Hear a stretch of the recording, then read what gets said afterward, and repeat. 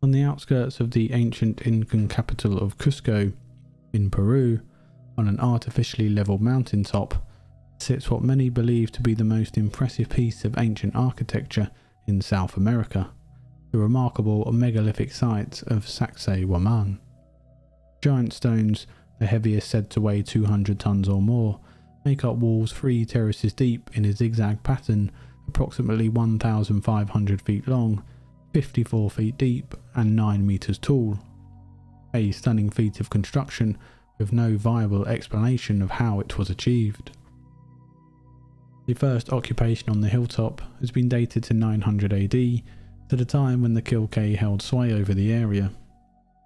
They are also said to be the original founders of Cusco, which would later become the Incan capital. According to their own origin story, the Inca migrated to the area, conquered the local tribes, and said it was they who founded Cusco around 1100 AD. But the truth is, we don't actually know who built the giant walls we see today, why they built them, what it was used for, or how it was built. Welcome to Our Curious Past, where we dive into the oddities of the ancients. We explore the myths and origins given to us by our ancestors, pointing to a past now long forgotten. We investigate the ruins and structures which don't fit within the current narrative of history, searching the unexplainable and inconceivable feats achieved long ago, often ascribed to those who give no claim to their creation. Is Sacsayhuaman just an Incan fortress, or is it something different entirely? Could this be the beacon to the past some refuse to acknowledge? When the Spanish arrived at Cusco in the mid 1500s, Pedro Pizarro described what he found. On a hilltop, the Inca have a very strong fort surrounded with masonry walls of stones and having two very high round towers. In the lower part of this wall there were stones so large and thick that it seemed impossible that human hands could have set them in place. They were so close together and so well fitted that the point of a pin could not have been inserted in one of the joints. Academia mostly credits the supposed fortress to Pachacuti, who reigned between 1438 AD and 1471 AD, and that it was added to by his successors. It is a perfect place to build a fortress, on a mountain top, a great vantage point for a military complex, and the Spanish were told that Pachacuti ordered 20,000 men to come from the provinces. He had 4,000 men quarry and cut stone, with 6,000 hauling them with great cables of leather and hemp. The remaining 10,000 dug and laid the foundations, while others cut poles and beams for the timbers for the complex. Most believe that Pachacuti and other Incan kings implemented construction projects at Sacsayhuaman, including the citadel which now lies in ruin atop the hill. But the foundation stones are so massive and so heavy, fitted with a precision which baffles modern engineers, that many struggle to believe he, the Killke, or any other Incan king are responsible for their placement. In fact, some have reported that the Inca themselves say the site was constructed by an earlier, unnamed race of people who were led by a mighty god who descended from the sky. A strange proclamation to make, but one which is not out of place. Origin stories just like this one exist around the world at other ancient sites, telling us of how giant, unfathomable structures like this one were constructed in our deep past. Today, we can see the difference between the construction works which took place at the site. The lower part of the wall, the part the Spanish specifically mention as seemingly impossible for human hands to have set in place, is of a sophistication unmatched when compared to the structures which exist and existed atop them. Staircases linking the levels are clearly not original, adding later on with much smaller blocks and using mortar. Something not found in the most impressive feats of construction undertaken by the megalithic builders. Repair work is also visible with additions on the walls added using the same much smaller blocks. In Cusco itself you can see the difference in construction technique. After the conquest of the Inca, the Spanish ravaged the fortress, taking stone blocks, or at least the ones they could move, for their own construction projects within the city. Earlier work in the city, neatly fitted basalt blocks, are clearly more sophisticated than the later Inca work created out of limestone, and the sloppy Spanish work where mortar is used. Both the Inca and the Spanish fitted their own work into these walls, clearly showing they could not match the level of technique. The Coricancha, another anomaly within this place, is made of granite blocks 3 feet thick with no gap from front to back. The lintels within the building are astonishingly level to a precision which can only be matched with today's building techniques. The stones are incredibly well fitted together with no mortar so that you cannot fit anything in between them. I should note here the gap seen in some of the vertical joinery in these blocks is due to an earthquake having taken place at some point in the past, and they would have appeared exactly the same as the horizontal joinery, which still shows the precision in these walls. Researchers from many different scientific disciplines are questioning whether the Coricancha and the walls at Sacsayhuaman could have been built by the Inca or other pre-Incan peoples, with the consensus beginning to lean towards the possibility of some other civilized culture being responsible at a much earlier date than previously accepted. Unfortunately, we may never know what Sacsayhuaman or Cusco looked like when the Spanish first set eyes upon the place. It should also be noted that the Spanish were unable to move the massive stones at Sacsayhuaman, perhaps also unable to destroy them, so instead of leaving them to be occupied by rebels, they buried them under the earth from the surrounding area. The unbelievable size and weight of the foundation blocks are just too massive to have been moved and placed so precisely by the Inca or the Killke before them. Some weigh 200 tons or more, coming from a quarry 3 miles away. Not an insurmountable distance, but a feat of impressiveness which needs to be questioned. The truth of the matter, archaeologists who have studied the site and other researchers have no idea how they would have achieved this, especially when there is simply no evidence to justify it. The puzzling fact about these stones is that no marks for cutting or working them have been found at the proposed quarry site itself. If the Inca, with their bronze tools, or any other culture quarried the stone from this site, the blunt puncture marks of hammer and chisel would have been found. However, this is not the only problem. The blocks at both Sacsayhuaman and Cusco are made from basalt, granite and metamorphosed limestone, rock far too hard for bronze tools to work. I have mentioned the hardness scale before in other videos and the same thing is occurring here. The rock mentioned is higher on this scale than bronze meaning they wouldn't have been able to work the stone and using the same type of stone as tools to carve the rock would have been extremely difficult and it would have taken an unimaginable time to complete. We see this throughout archaeology around the world, where cultures and civilizations are being accredited with construction projects without having the means to have actually completed them. Although this might not be the most puzzling thing about the construction of Sacsayhuaman. The blocks themselves are so tightly fitted together using no mortar that a piece of paper cannot be placed between any part of the wall which has not been damaged by earthquakes. They are of a polygonal design, rounded in places, mostly at the corners, and they are not simple or repetitive shapes as seen in most building projects of the Inca, or by those before or after them.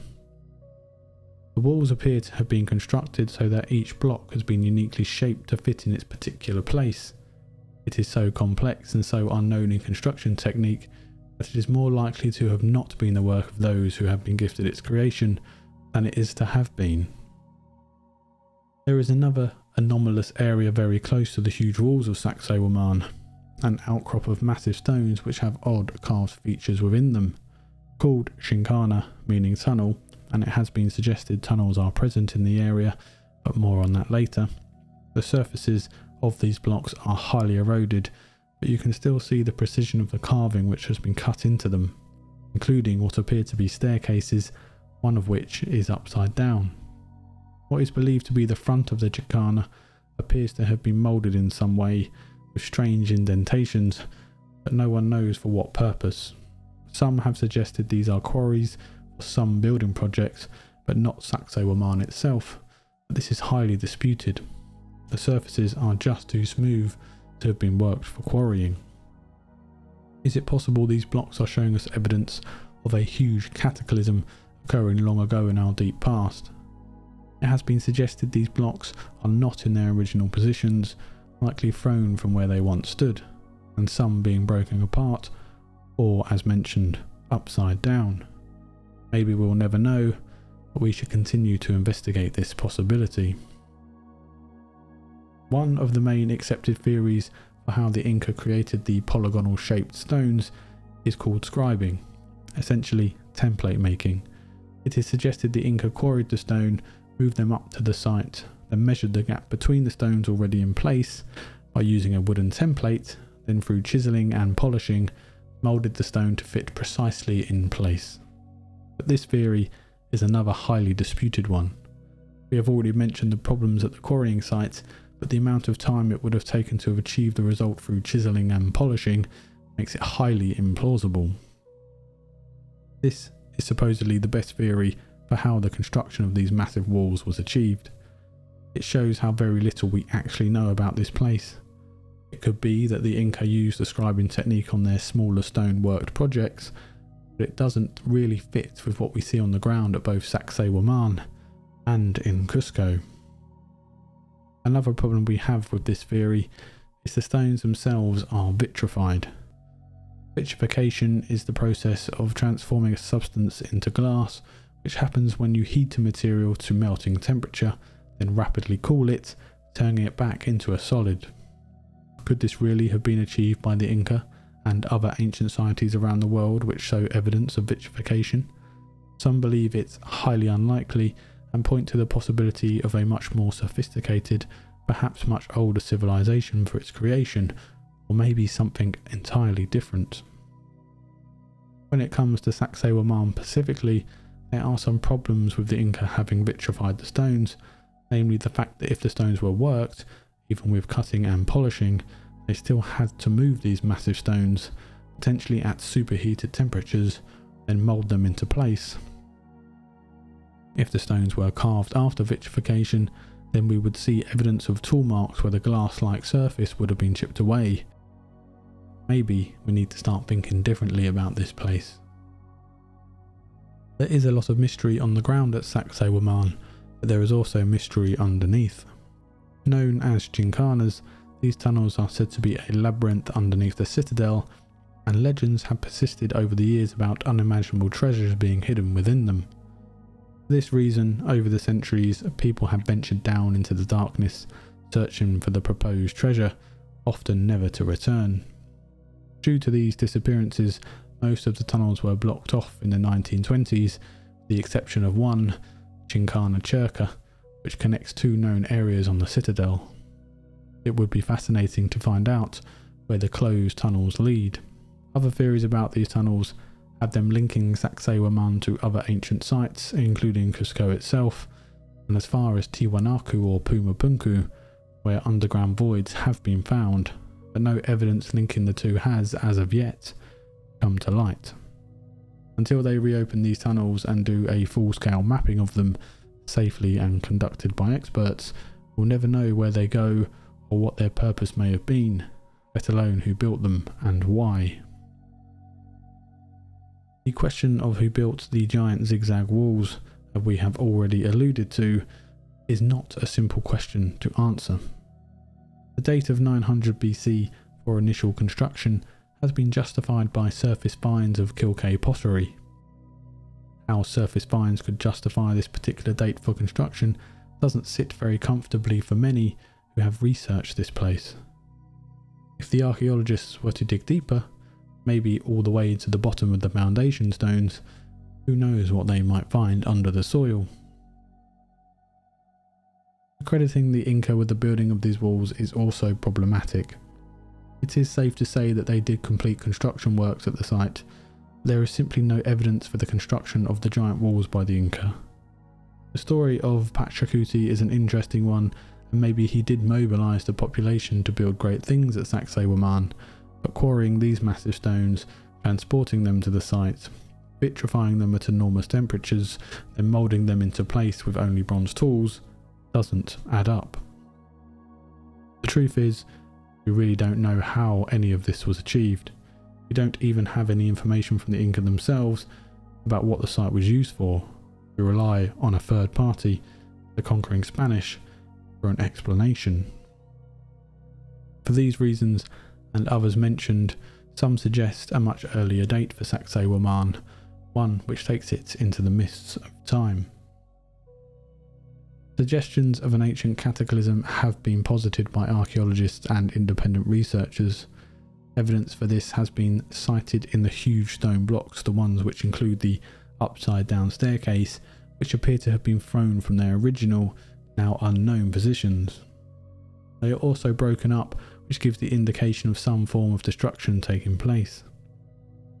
Also, the Inca are said to have built on top of the huge anomalous foundation stones, if it is true the stones were in place before the Inca or the Killke arrived on the scene, what may have been sat atop them? Could it have been the blocks just mentioned? Or maybe something else entirely? The vitrification of the foundation stones may not have been by design or a construction feature at all. Perhaps they suffered some form of superheated blast, a plasma ejection from the sun has been suggested, and it is possible this kind of cataclysm could cause vitrification to take place. But until we take such theories seriously, we'll never have all the answers. If a cataclysm of this magnitude did destroy the original structure which made up Sacsayhuaman, it would have most likely happened at the end of the last ice age. We continuously come across this particular theory, the pre-ice age civilization theory, because it pops up again and again at these ancient sites a specific period has been given for this destruction to have happened, the Younger Dryas period, where more and more evidence is turning up which shows a global catastrophe taking place around this time from core samples taken around the world. If this is the case, Sacsayhuaman would be one of those places which only just survived, leaving just enough of a trace to be reused by the cultures which came after, found what was left of the ruin and reused it for their own purpose. It would be linked to a host of other sites around the world showing evidence of a civilization now lost in our deep past, some of which we've covered, many more we are yet to mention. The truth about this place will most likely never be known. We simply have no idea how the blocks were moved, shaped, placed, or why they were vitrified and for what purpose. We have no idea what the site originally looked like or what it was used for. Due to the destruction by the Spanish conquerors, we don't even know what the original Incan supposed fortress really looked like. The Inca left us no records, just a few origin stories pieced together by the conquistadors who arrived at the capital, and even they were in awe over the precise nature of the megalithic construction. To get any kind of real grasp on this amazing place, the authorities, archaeologists and researchers need to conduct more digs, go down further than the surface pottery finds, and maybe they'll find something unexpected. Maybe it could change opinions about the history of not only this place, but other anomalous sites around the world. The tunnels running underneath this ancient megalithic site must be explored by professionals using the latest technology and equipment to really find out where they lead, if anywhere at all. We must keep an open mind when investigating places such as Sacsayhuaman and Cusco, which pose more questions than it gives us in answers.